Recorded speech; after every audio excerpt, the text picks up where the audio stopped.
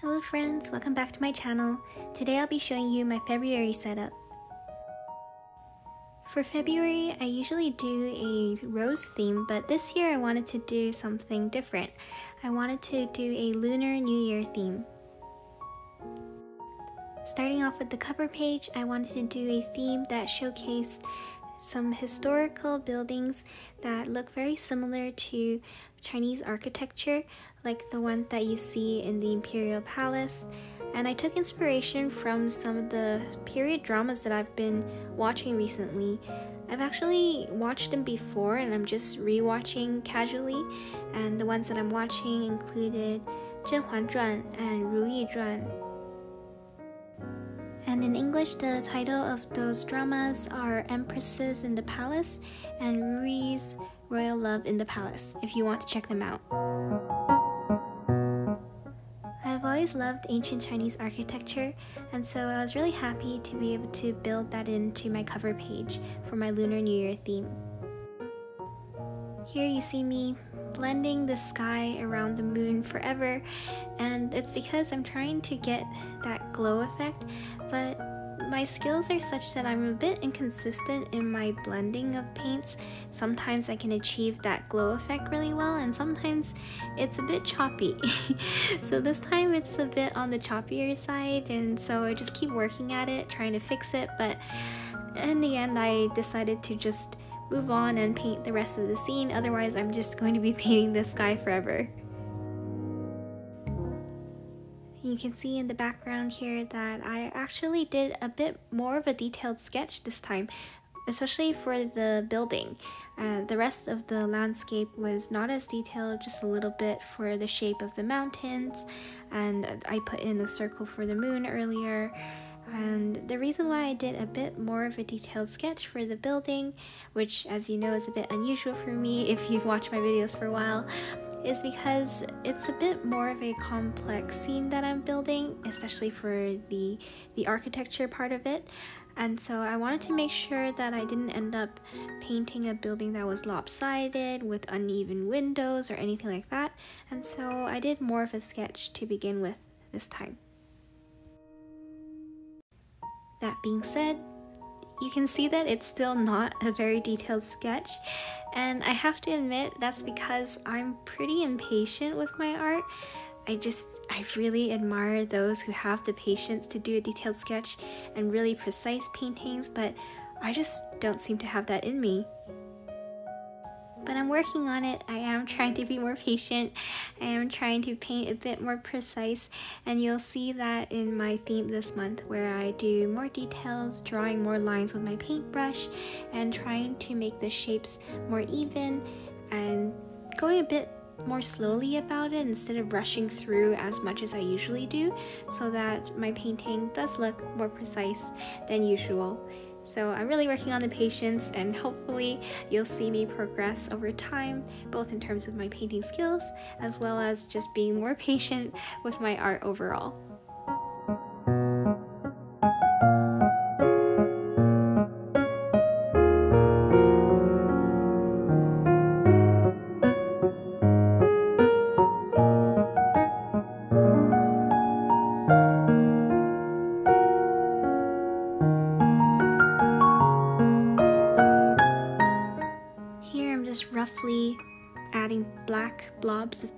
So that I am mapping out roughly where I want the buildings to go in the background.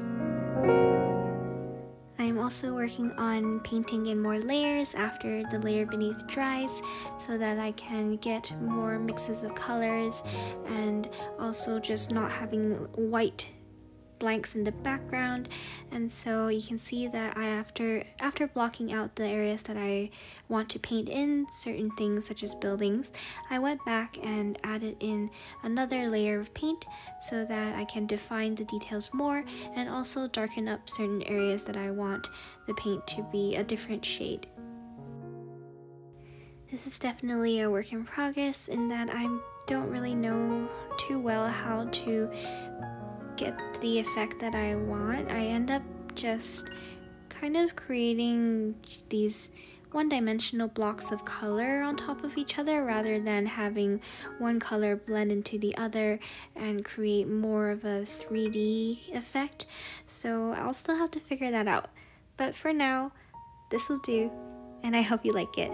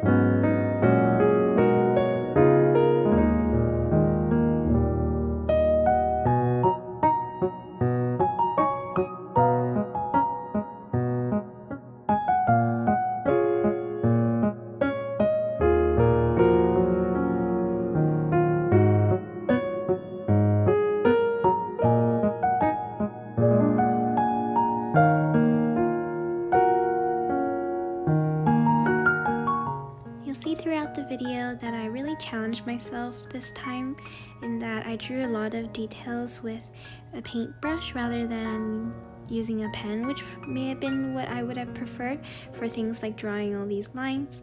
It was a bit scary to do this, but I am glad that I tried, and I think that I'll only improve with time if I just keep keep at it.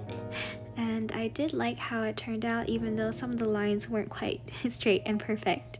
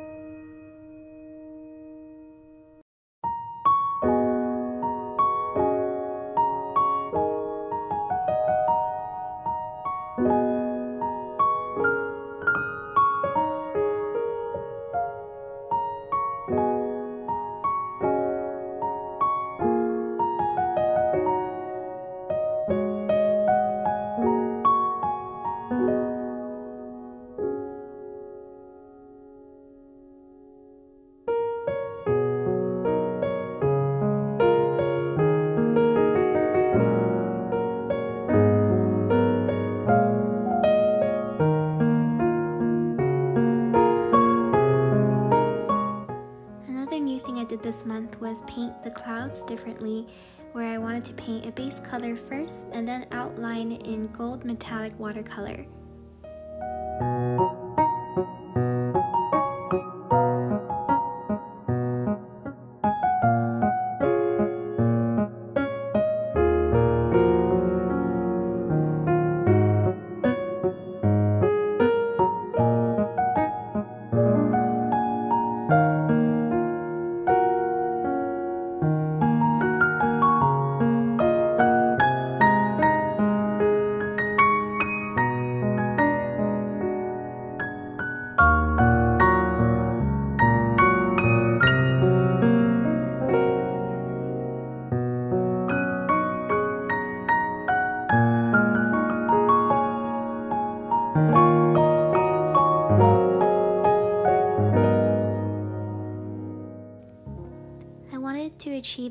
Effect like the lantern was being lit from the inside.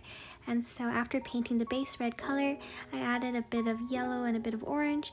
And then I went over it while it was still wet with a bit more of the red paint drawing lines across so that it would look like you can see the texture of the lantern but also see the glow coming from inside the lantern. And I quite like how it turned out here. Rest of the lanterns for the buildings in the distance, because they were much smaller, I didn't do the mix of the colors that I did for the larger lanterns. Instead, I used the metallic watercolor so that it would automatically have a glow effect when it catches the light.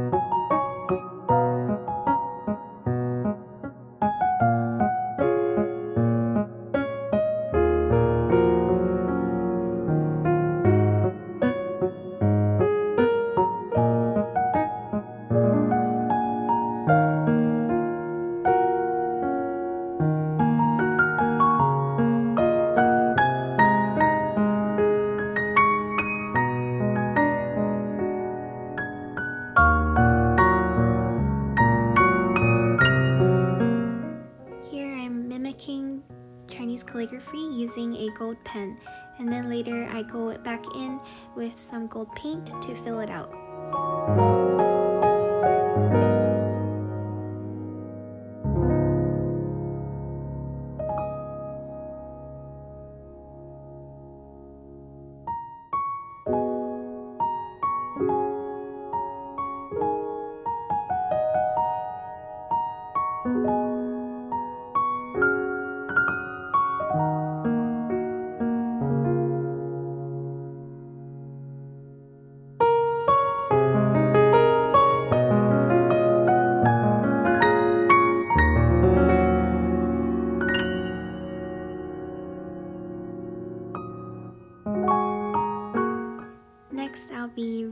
Diving into the Lunar New Year theme using the common colors of red and gold. So I'm starting off with a red background, after which I'll be painting on top of it some gold clouds as well as a gold dragon.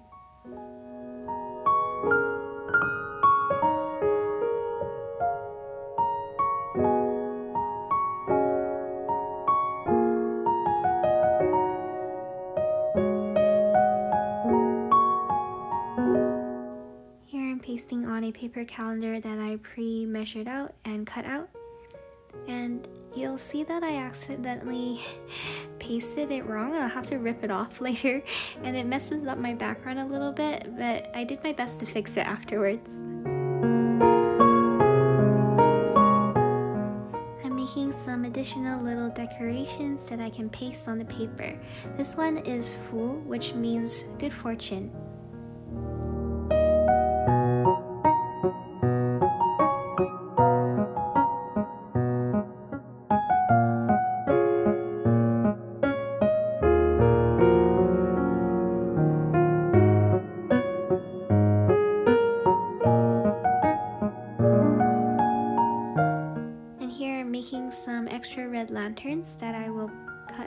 Paste on.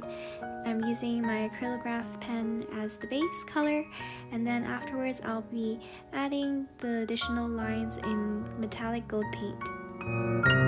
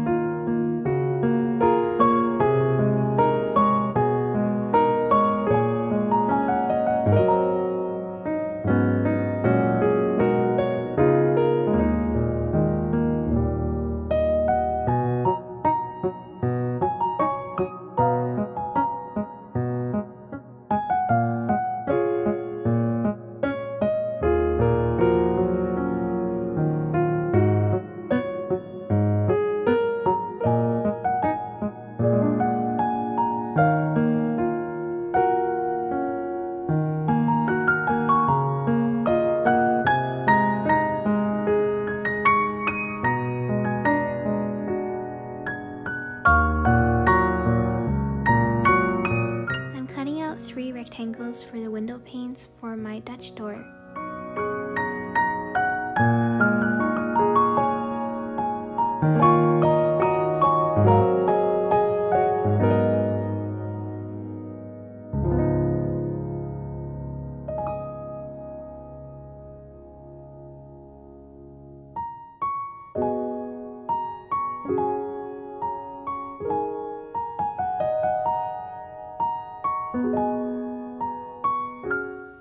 Dutch door, I decided to use vellum paper in order to mimic the paper window screens that you see in some Chinese architecture.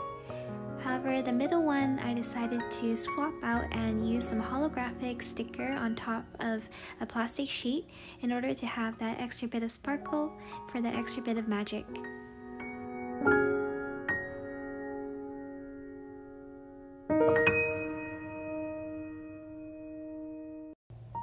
For the dragon, I looked at a lot of different pictures of Chinese dragons before coming up with my own design, quickly sketching it out, and then outlining it in gold metallic paint, creating all the details as I go.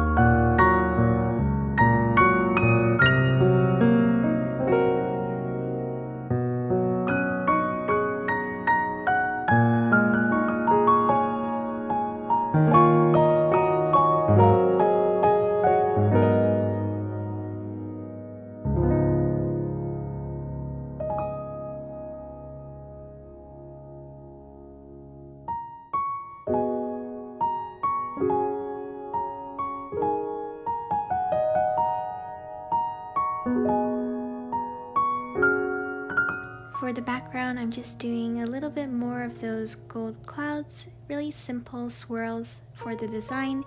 I already did a lot of detail for the dragon and so I didn't want the background to be too excessive.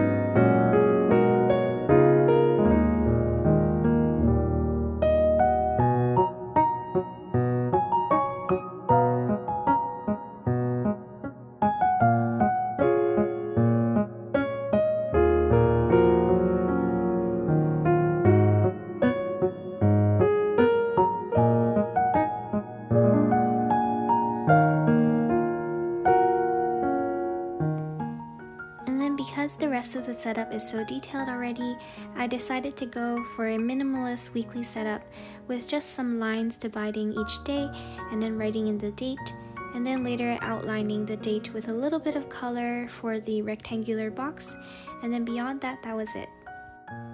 And now for a flip through.